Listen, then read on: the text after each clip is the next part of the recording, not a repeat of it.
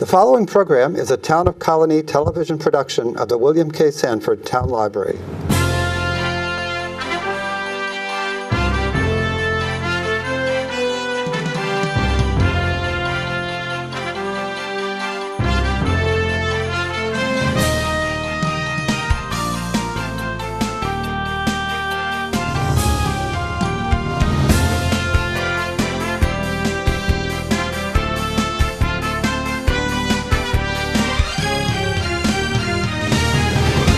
Hi, I'm Mary Rozak, the Director of Communications for Albany County, and this is Albany County News. In the next 28 minutes or so, I hope you're going to uh, find out some very interesting things about the organization that we're going to talk about. And that's the, the goal of this program um, each and every month is to bring a taste of Albany County to you and let you know how you can benefit from things that are going on around here. Uh, joining us uh, today is Janet Silver, the current president of the Albany County Bar Association. Thank you for having us. Thank you. And the brand new executive director of the association, Marquita Rhodes. Welcome. Thank you. When I hear Albany County Bar Association, first of all, I think that's something I'm never going to need. I hope I never need a lawyer, right? I mean, people people are always thinking about that. But when you think about the Bar Association and the name, some people might, you know, glaze over right away and say, okay, it's something for lawyers, not for me. What is the Albany County Bar Association? What do they do, and how how do they benefit the community? Albany County Bar Association benefits the local community in so many different ways. I think one of our major contributions to the area is the pro bono services that we provide. Um, we've been providing free civil legal services, especially in family court matters, for over 20 years. Um, it started with a concept with Albany County Family Court saying we need help with people who don't have legal representation, learning how to fill out forms. What does it mean to be a pro se litigant? So we've had volunteers for years down at family court that just assisted petitioners as they came in looking for assistance. That's grown to now having two part-time attorneys who are taking on direct uh, civil legal service cases. And so, if you are somebody who is low income and needs assistance in civil cases, whether it's family court, landlord-tenant, um, our office can help. So what is what does that mean? Does that mean that, that I were if I if I were one of those people I would call You or can call the office, absolutely. You can also go online and get information or email one of our pro bono attorneys. There's a intake screening process. Um, our services are funded with state grant money, and so we have to make sure that individuals qualify for service. If they do not qualify for our service, um, we try to refer to somebody else. So we also partner with Legal Aid of Northeastern New York in the legal project. So, for instance, if it involves domestic violence, we would refer the legal project.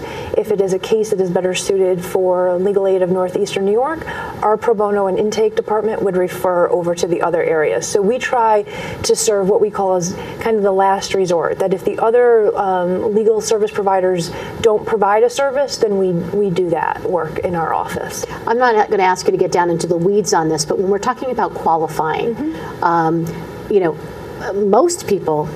Most people say, you know what, if I have to hire a lawyer, it's going to cost me a fortune, so I've got to qualify for something. But the reality is there there there are benchmarks to, to being able to qualify, as you said. So what are what may be some of those general It's benchmarks? usually um, 200% of the poverty line for an individual to have free representation.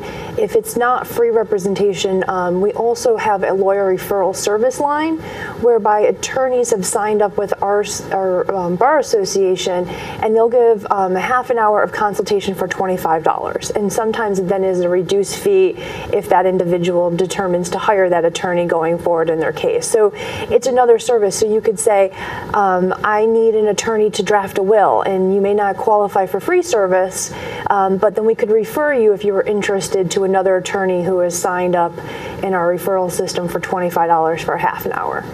So, let's say we go to the website, and you just said you want uh, you want an attorney for a will. Is there a way to to look up look that up to search on online? No, you can't search. Um, how it works in our in our office is that if you want an attorney through the referral line, you actually have to call.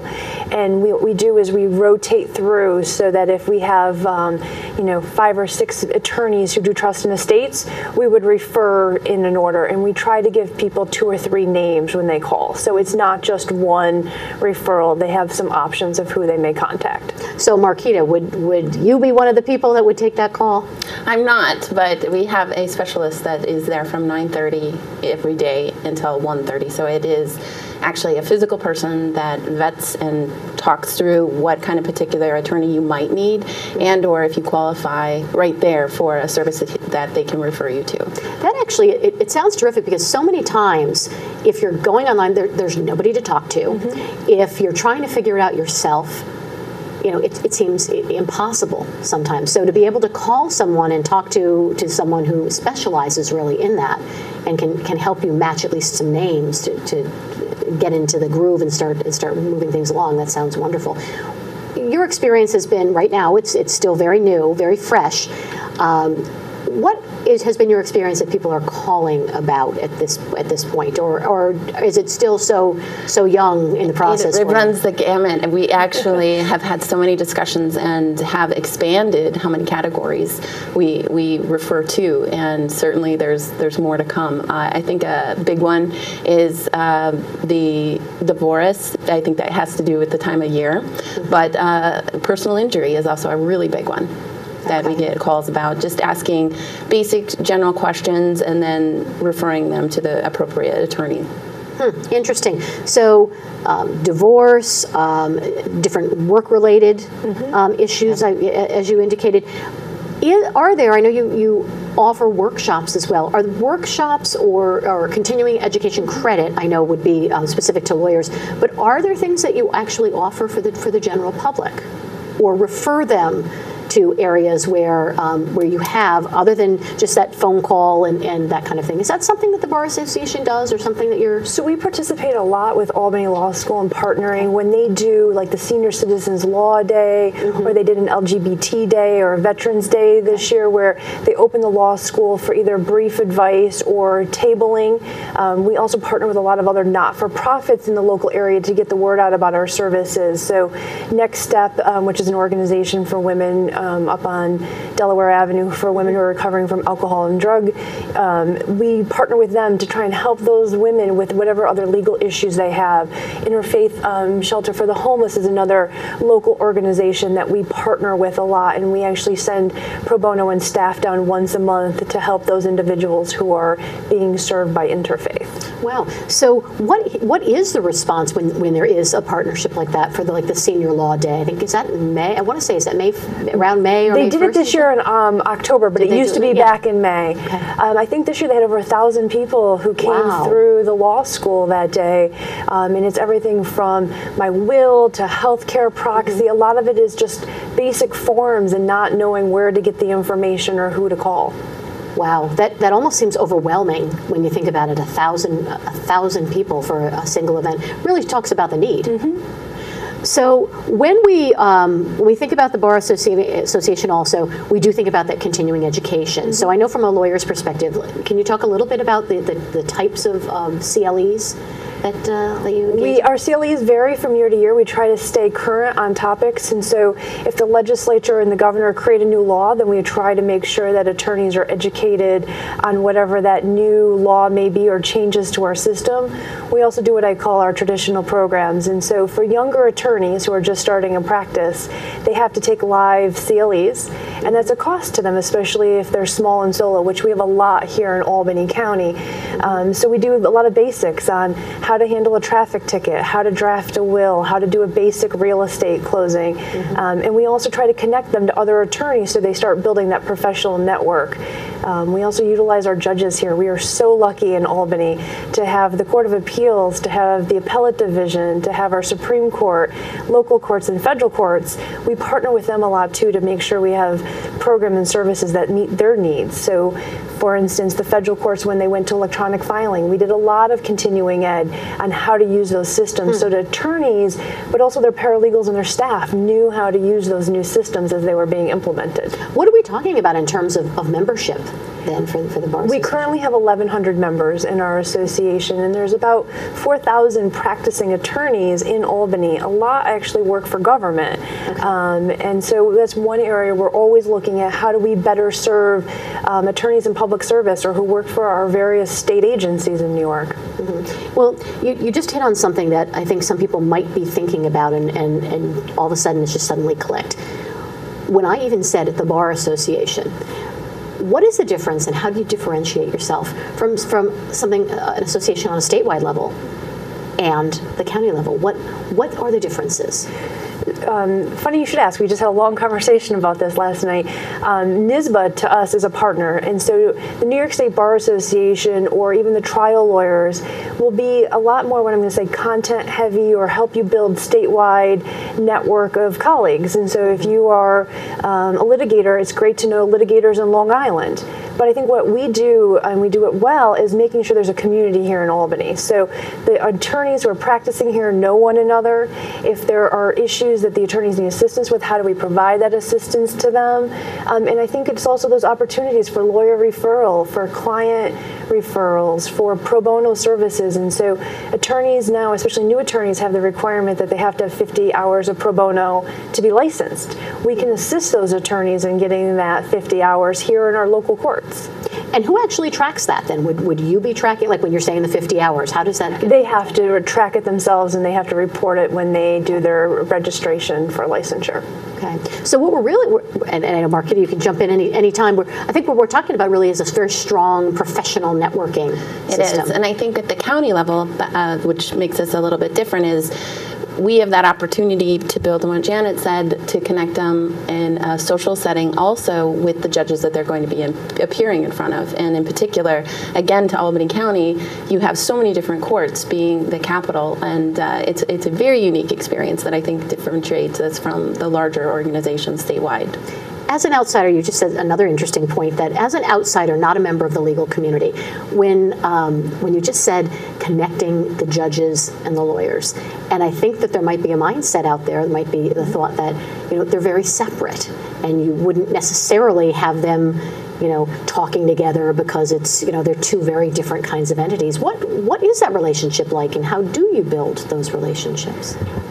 Well, I think the association is very uh, integral into that because it does allow that social, safe platform for them to be able to engage with one another. I think that there's a, a very particular professionalism that comes with being in the legal fields, whether the judiciary or on the attorney side. And it's interesting, right? They talk about the bench and the bar, and it, it really is a historical uh, prestige, and they have to respect it. So Sure. uh, it's it's it's an interesting position to to play within the association social networks and to be able to connect with them in a different level.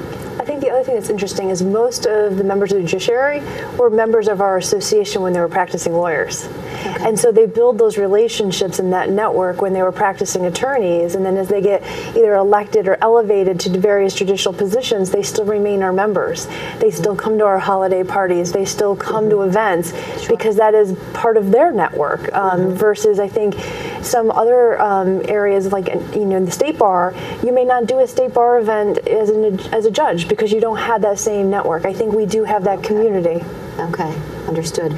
Tell me before we, we continue on and, and we talk more about some of the other programs and services. Janet, tell me a little bit about your background. I know you're the current president. I am the current president. I've been on the Albany County Bar Association board for the last eight years. Um, I practice at Hinman Straub in Albany. I've been there for the last 13, and I focus mostly on areas of human services and education. So here locally, I work with um, St. Catherine's, LaSalle School, Vanderheyden Hall, making sure that they have the funding and the services that they need for children who are in foster care, or how do we provide community prevention services in our local um, areas. And um, on the school side, it's more special education, private schools for kids who can't be served by traditional public schools. Wow. So you, you know, lucky 13, Yeah. right? When we're talking about 13 years. So you really, you've been entrenched in I am. in law and in, in the association for quite some time. Uh, a reminder, we are talking with the current president of the Albany County Bar Association, Janet Silver, and executive director, Marquita Rhodes. Um, Marquita, let's talk a little bit about your background Sure. coming, coming here now to uh, the Bar Sure. So Association. my background is a little bit of a kaleidoscope of project management, marketing, and communications. I have had experience working with the Department of Defense, uh, international branding firm, and most recently in economic development at the Downtown Albany Business Improvement District. So the background bringing from uh, organization and management of nonprofit, and really picking a field that uh, was new and exciting and extremely challenging was uh, a huge focus. So I think the legal field fills that pretty well. Well, congratulations um, on, on that appointment. And I think anytime someone new comes in, it gives an opportunity for um, an organization to take a look and say, okay, now we have someone who has this um, particular skill set, and, and how might that uh, be a great advantage to us? Very strong marketing. Marquita is, is what you've got. Um, I, and I know, having worked very closely with you um, in, in other projects, as you come into this position, what do you see as some of, or, or have you had time yet even to say, these are some of my particular kinds of goals to market the association? Well, I think that uh, they're aligned perfectly with what the board strategy is, and that's to gain uh, a new relevance moving forward for membership. And it's not unusual for a lot of associations, whether they're legal or not, to be going through this kind of identification and, and really looking at what are we really doing for 2016 and beyond. And so, really making the nucleus of the association strong. And I, I was thinking about that this past week as we were gearing up for the holiday party last night and thinking about what is the connection with the association. And it really is this opportunity catalyst for the legal field not only to connect in the community in and of itself, which we talked about, but exterior to it. And so connecting all those pieces and parts so everybody in the association can talk about it in the same voice, I think is one place where I really can have some impact. So stay tuned. Okay, we, we will stay tuned. Now, talking about the numbers that uh, you referred to earlier, Janet, I know um, you were saying about 1,100 in the membership, looking at a number of about 4 4,000 overall. You know, not so bad. At 20, 25% of, of, the, of the total market, you take a look at it, it's certainly not oversaturated, um, but still some room for, for some growth. Yeah, I think we would like to double that if, if it was possible. But back to what Janet was saying, we have some great inroads to make with the public attorneys who often have um, some of their uh, CLEs paid for by the government and um, are even provided. So really finding out and listening to our constituents on what do you really need and, and how can we provide that and how can you be a part of that solution. Well, I, I find particularly interesting also, I think in, in, the last month or so, I, I and it may have already started, um, but I'm aware that Albany County and our law department will be participating in hosting some of those um, CLE, uh, Yes. kind of like, I, I hesitate to say a lunch and learn, but that's, you know, very similar to be able to do that. It was, and we were just actually very fortunate to be able to partner with the county. Um, Albany County hosted a local juvenile justice conference for county attorneys from all over the state. It was a two day conference in November. And so we partnered with the county and certified all of the CLEs um, for all the county attorneys all over the state who were actually here um, for the program that was being offered by Albany County. And it was a terrific event that had great response. And we were really happy to be able to partner with the county on that. That's wonderful, and, and I'm, I'm pleased with that as well as Albany County. Um, let's talk about, we, we were talking about programs and services, and there's so many other things um, that you offer. I know we talked about the uh, pro bono, but there is uh, a foundation. There is. And tell- so, tell us about that. so that'll be my next role. Um, as I finish uh, the, my current presidency for the Bar Association in January, I'll take over as president of the Albany County Bar Foundation. Mm-hmm. And the foundation, um, one of its major contributions every year is we do an annual run against domestic violence in conjunction with Law Day um, in May. And it's either usually held at the Crossings here in Colonie or it used to be held in Washington Park. About three, four hundred runners. And the money raised from that, we turn around and we give to grants out um, in the community for supporting domestic violence um, organizations. And so last night at our holiday party, we were fortunate to be able to award about $20,000 to local organizations, which included Equinox, Albany County Crime Victims Association. There's a great new organization that's helping women who have experienced domestic violence by running and, and therapeutic needs behind that. So we're really excited about being able to raise money every year to be able to support local domestic violence organizations here in Albany County. That's wonderful. Thank you. How uh, are the organizations selected? Is it an application process? If someone's watching, is there somewhere that they can say, okay, wow, this was the time of year now. I know a great organization. How can I pitch it?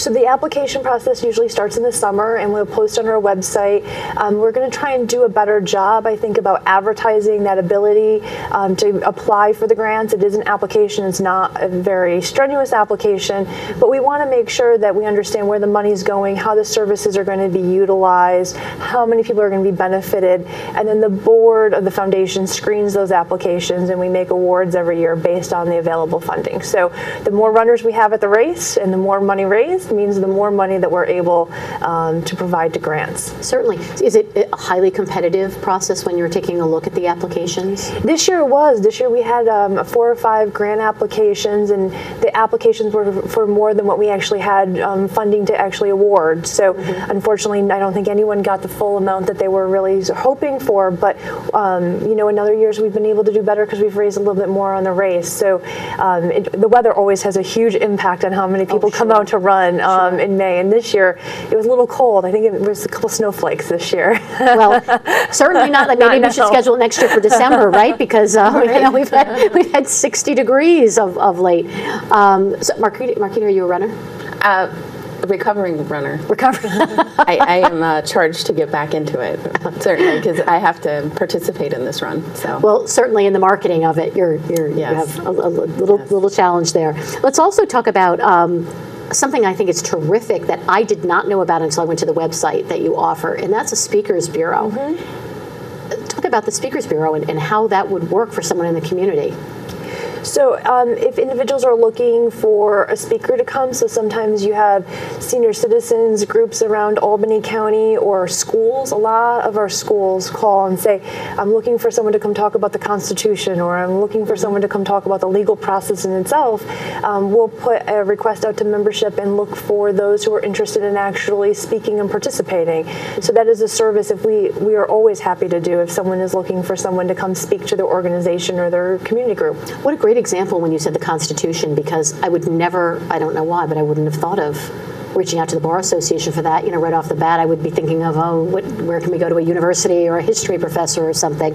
Um, but that's certainly wonderful. And I think that probably um, you get a lot of requests too with wills and elder issues and things like that. probably. Absolutely. I think that is probably one of the um, largest areas um, we get requests for. Um, and again, schools, the civics classes, government, constitution.